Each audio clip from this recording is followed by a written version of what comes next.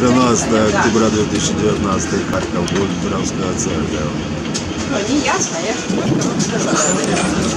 Спасибо большое, спасибо. Или место пройти.